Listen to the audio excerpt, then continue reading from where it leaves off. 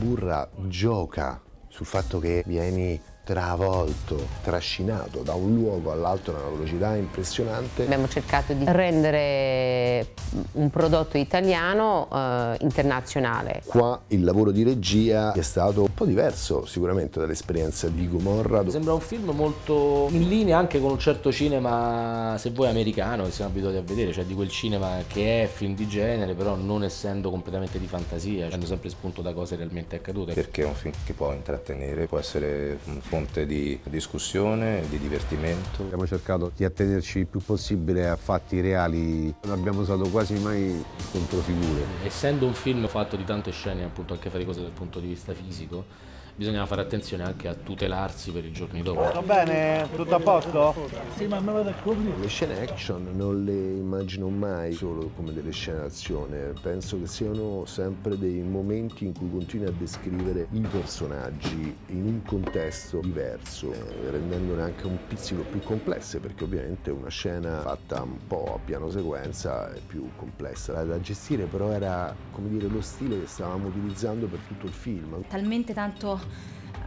all'ultimo respiro che secondo me uno spettatore non può perdersi su Burra.